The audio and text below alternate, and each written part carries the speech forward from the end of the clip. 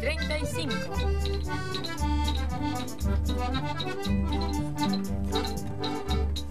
Tengo una baraja con 40 cartas que ayuda a librarme de cualquier traición. Traiciones que dejan algunas ingratas que son para el hombre de mal corazón.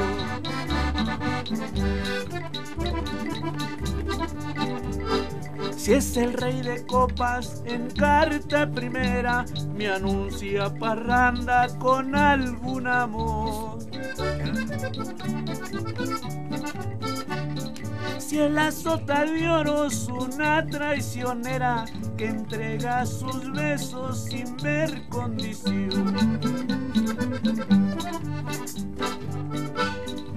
Sé que me dicen el enamorado allá en el rancho donde yo nací. Porque yo soy hombre, no soy un dejado. Me gustan las hembras, palabra que sí.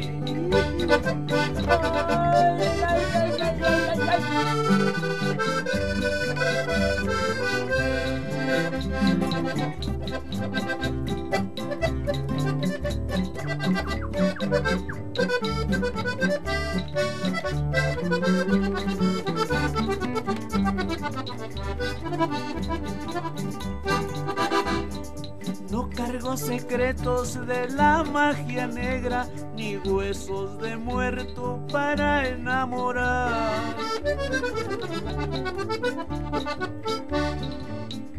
Buena suerte es la que yo me cargo, que nadie en el mundo me la de igualar. Ahí les va muchachos, es mi despedida, un grito ranchero por vida de Dios. No se les olvide que todo en la vida tiene su movida si hay buen movedor.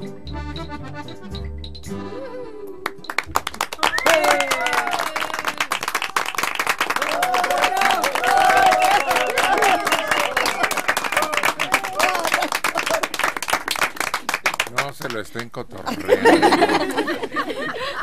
Malvados compañeros. que- Del año No, que pero- canto. ¿eh? Un día del año que canto y luego se están burlando de mí.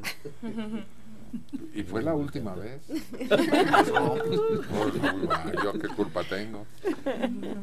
Parecía que estaba oyendo yo este Fogata Norteña, Mm. aquel programa que fue muy célebre en Radio Cadena Nacional, RCN entonces. El Río Plácido. Sí, sí. ¿Sí?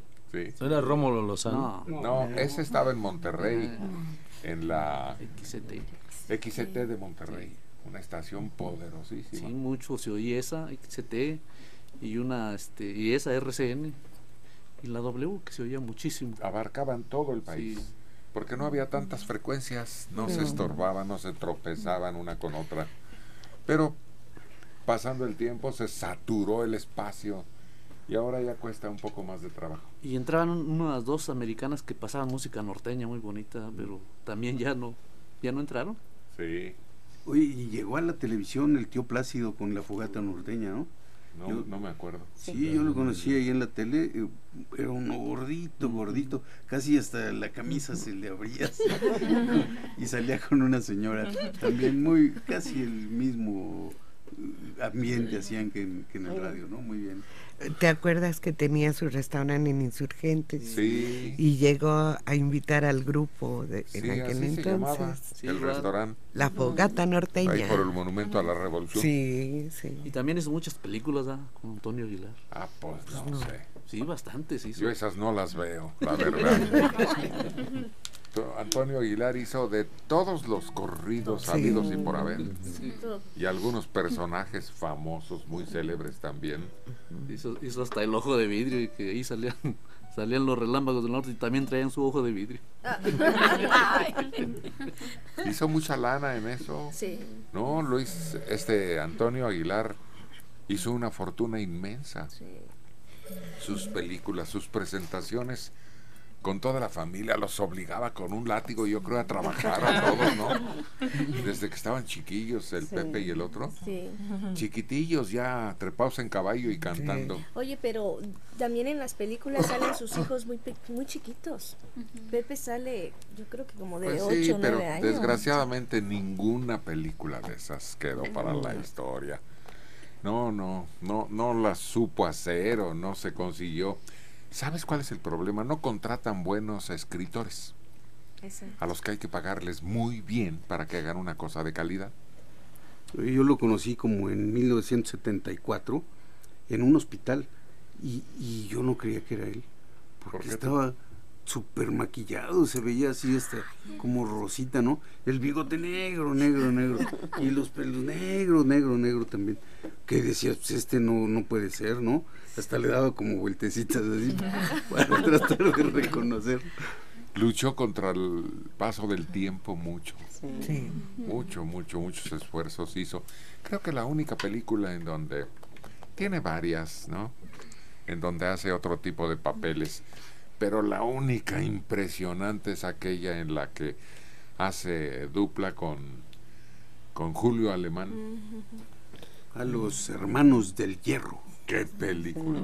Pero ahí sí se conjunta todo. La historia, el escritor, los actores, los personajes, Todo. un montón de actores y actrices Así muy es. conocidos todos. Sí. Y hasta las poquitas canciones que cantan. Hasta las buenas. canciones suenan en su punto y en su momento. Yo lo conocí allá en Tlalpan 3000. Iba con Flor Silvestre como dos veces, tres veces lo vi ahí. Ajá. Entraba ahí y este yo lo veía de sus bigotes bien negros y sus cejas bien negras. Fíjate que, que Flor Silvestre era mucho más bonita en persona, porque en, en- en pantalla como, no sé, no lucía lo mismo, en persona era preciosa.